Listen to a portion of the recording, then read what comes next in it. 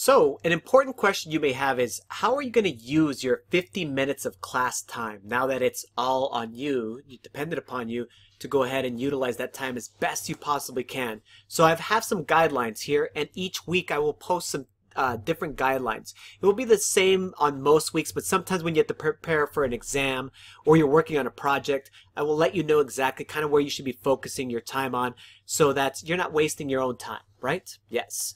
And so I've listed some things here on how I should use my 50 minutes of class time and even outside of class. So the first thing that you should always do every single day, log into Schoology and then check for any updates or new posts inside of Schoology, inside of Espanol 2.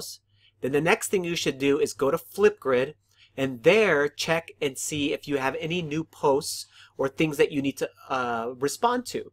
Uh, each day, Senor Irvin will be posting some things on Flipgrid that you can go ahead and interact with and you also will have your classmates and yourself posting to these exact same things uh, posting some new posts inside of Flipgrid it's a great way for us to interact and all speak in Espanol so the first thing you do is like, okay, what do I have there? Take one to two minutes to go ahead and do that every single day so you can prepare yourself.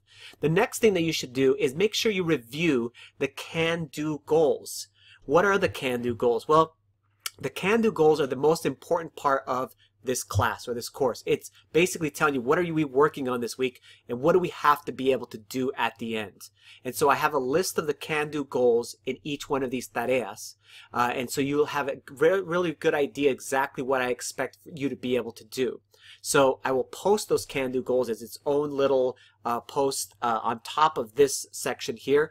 And then you can review them. Make sure you take a look at them daily and say, okay, I think I've got that. I can do that skill. Let me move on to the next skill. And if you have a question about specific can-do goal, go, oh, I don't know how to do this one. The third one, I, I, I don't, we haven't done anything about it. Ask me. We'll make sure we get enough practice if you're not feeling you're, like you have the right skill yet, uh, right skill set. The next thing that we have here is you're going to take at least 15 to 20 minutes. So the big bulk load of your class is listening to and responding in Espanol on Flipgrid. So it's such a huge component of class. 15 to 20 minutes on a daily basis. You could even go beyond that. Okay, so uh, that's like your minimum standard that you should be going and doing there inside of Flipgrid, listening to discussions by my from me, from your classmates, and then posting your own uh, posts and responses too. Of course, all in Espanol. This is about halfway, uh, a little bit over halfway through class, about 28 minutes. And then you, what you should do is on a daily basis, you should read your Casi se muere. You don't want to read all that in one shot.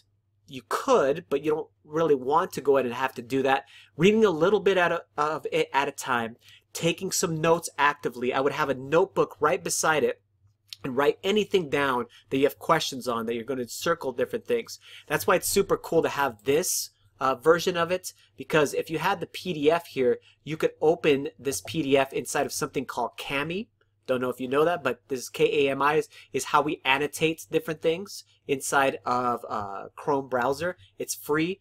You can go in there and basically be able to go ahead and take notes, be able to take your notes as far as in class. And it's fantastic. It's easy. And then you have your notes as part of uh, your reading. So you actually get some things. If you have questions, uh, ask Senor Irvin. So if you're like stuck on something, I'm not sure what this is, that's a perfect opportunity to go ahead and ask questions. If you want to even post those questions into Flipgrid, that's fantastic. I will be posting some questions on Casi Se Muere also that you will have to respond to.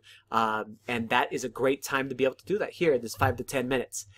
Basically, that'll be about 38 or 40 minutes of the class period. So you have about 10 minutes left. What else should I actually do the rest of the time?